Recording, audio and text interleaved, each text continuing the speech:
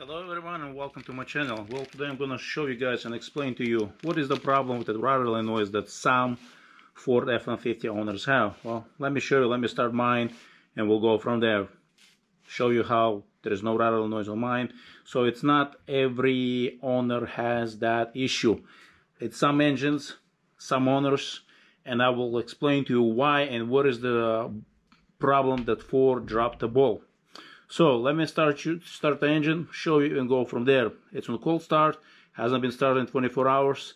Temperature outside is probably around 50, 40s or so. And let's go.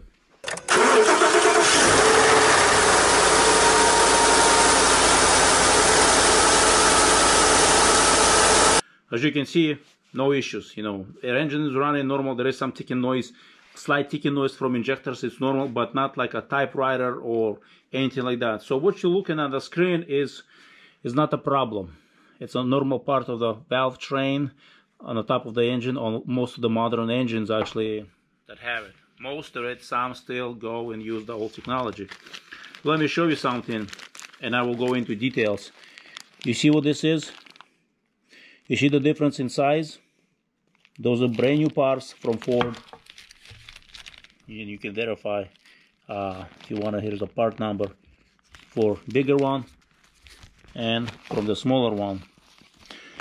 The rattling noise goes back to the history actually goes back to the earlier uh, early versions of 5.4 let me show you the TSB that Ford created. You can read it you can search it for it. It's on a screen and the solution to fix this rattling, as you can, you know, what I mean, you will see on the screen, the Ford has uh, provided is to, there's multiple things that could have been done. Oil, make sure it meets the specifications. Um, API oil filter, make sure it's not restrictive, meets the specifications, it's a quality filter. And the last thing the Ford said is the lash adjuster would have been would have to be replaced. If any of those things did not fix the issue, then the last lash adjuster would have been. Some owners, some owners complained to me they had an issue, and I told them on five fours actually switch to synthetic oil. They switched a month later. You know what I mean? There is some people that would when you ask them to let me know if that helped, they did help tell me this guy came back a month later. I didn't think he would. He said, yeah, you know, and a lot of people say, yeah, I will do it. They never do. But this guy was a nice, honest person. He switched the oil to, to synthetic oil. I don't remember what brand. I know it was 154. He had the issue and he just like looking for an answer. Uh, when he switched, that issue disappeared. You're gonna say oil makes a difference? Well, every oil, even though it, ha- it meets the specifications, it has different specs because the specifications for the oil have different numbers. Let me show you what I mean. And before I show, let me share some more details.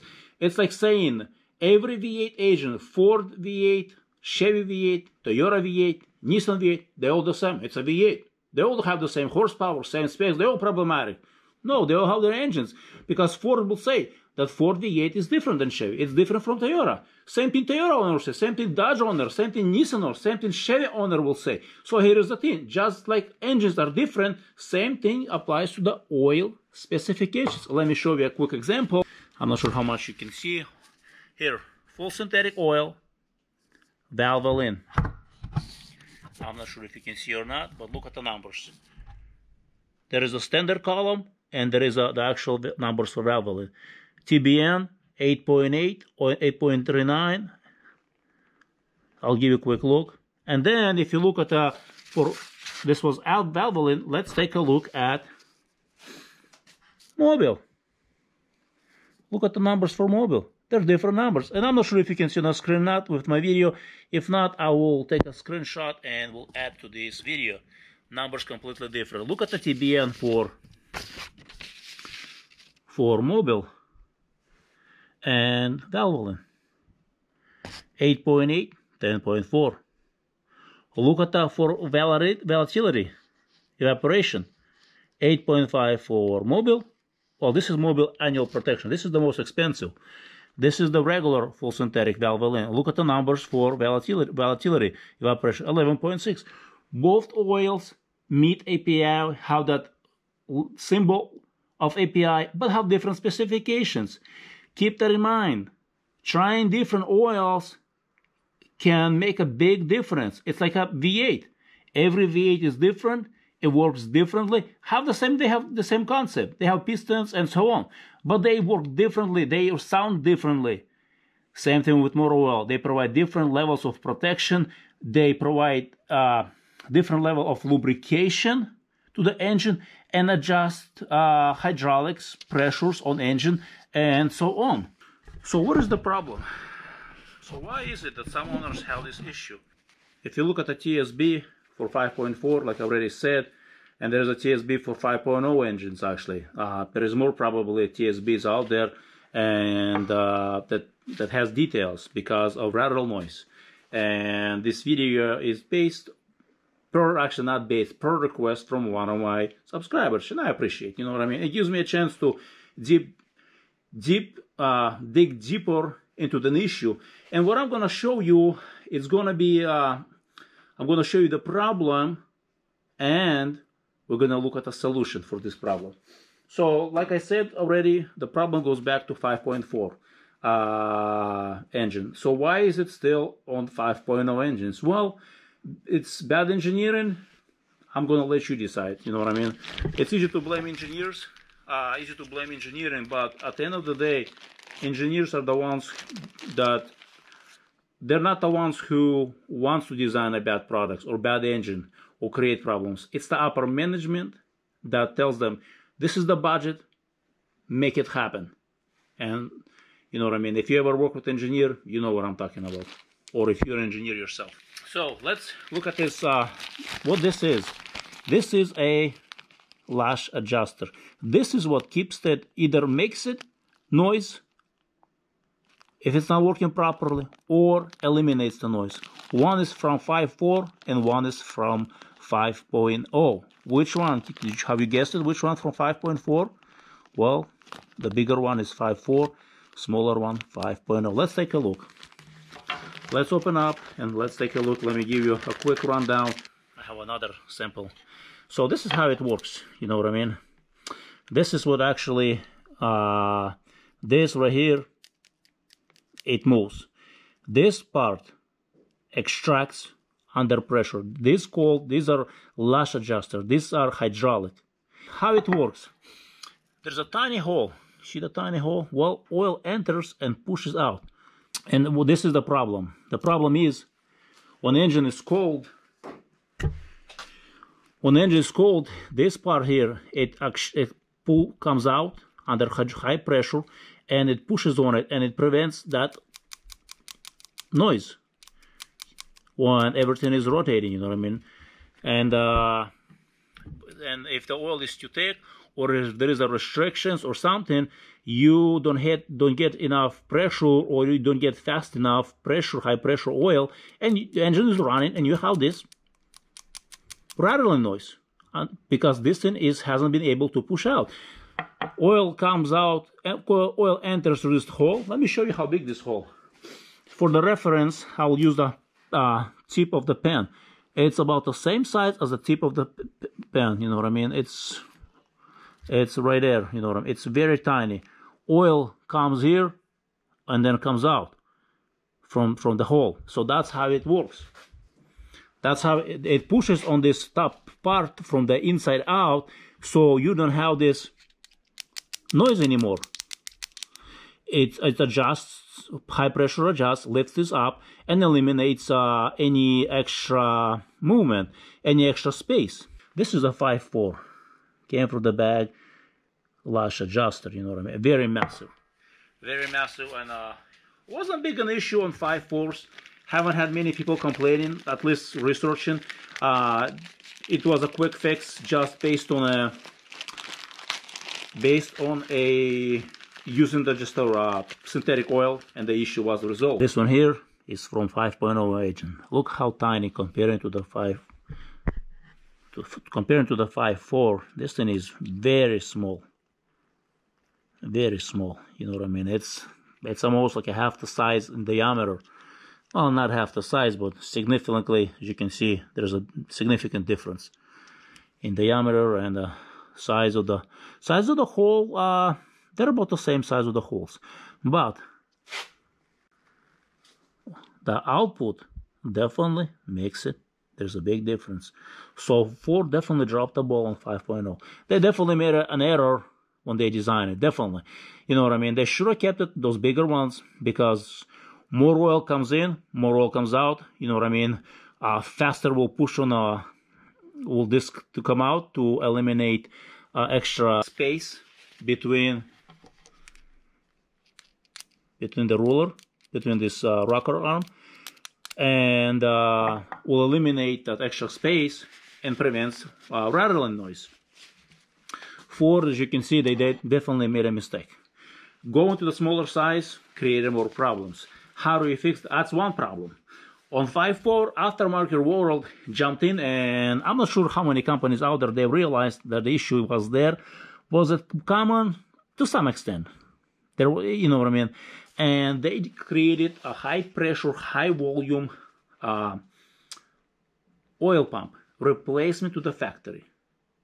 People who replaced it, I never heard anyone complaining about having that rattling noise or so on, you know what I mean? So it seems like that was the fix. On 5.0 or 3.5 EcoBoost, I haven't seen, maybe there is, I haven't looked looked into it, if there is an issue with, uh, not an issue, if aftermarket already developed a, a fix, maybe increasing the pressure with the oil pump or um, the volume, you know what I mean? So, so the problem is size. Holes size different. Uh, this plunger, if you want this hydraulic live uh, lash adjuster, is different sizes, different holes, and it makes it actually um, a problem. Not much you can do because this is 5.0 this is 5.Ford, you know what I mean? Should, 4 should have kept it or make it bigger on inside, you know what I mean? So that's one problem. The other problem, uh, oil pump. If the oil pump cannot supply, provide enough pressure to the top portion of the engine where all of this is, you're gonna have a problem. Maybe the ports that oil flows is not big enough.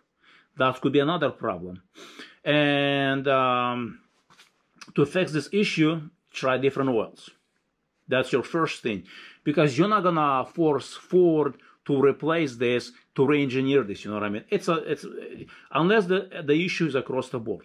Otherwise, Ford will not do anything about it. It will take time. But keep keep in mind, like I already uh, explained to you, try different oils. Because you use the Mobil, try something else. Try Amsoil, try Pennzoil. You know, try more expensive oil and see if you notice any difference. This one person said he noticed a difference right away. You know what I mean? And it's good and he commented because I'm like, try it. You know what I mean? It was my recommendation. I only can recommend, but at the end of the day, it's your truck or your car. You can say, no, I will stick. I've been using it for 30 years, never had issue with this oil. Well, here's the thing. You never had a car for 30 years. You know what I mean? Cars back then were simpler. They never had hydraulic uh, lash adjusters. They were simple. So this part was not there. Engines were simpler, less horsepower, less stress on the engine. So, and I want to mention something else. Very important to have clean oil because look at the holes. Look how tiny they are. We're talking about 1 16th or so.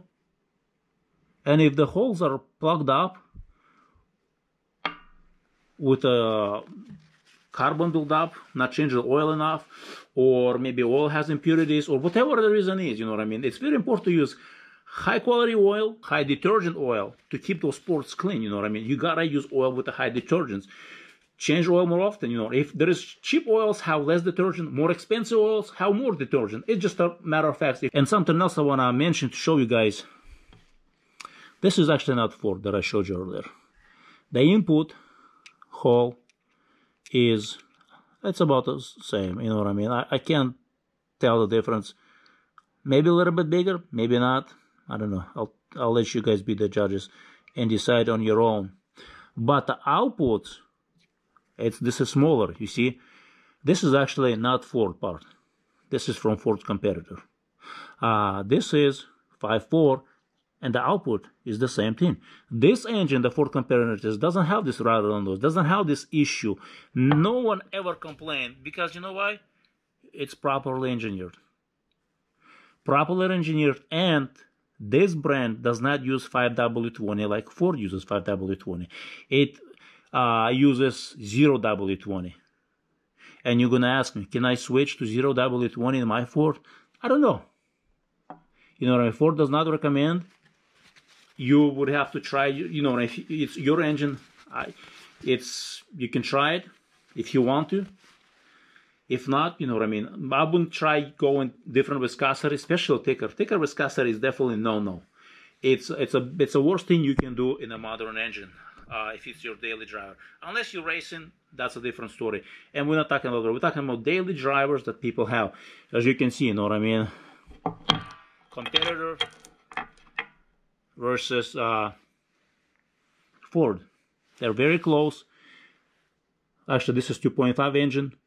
This is uh, 5.0 or 3.5. I think EcoBoost has the same thing. And this is 5.4.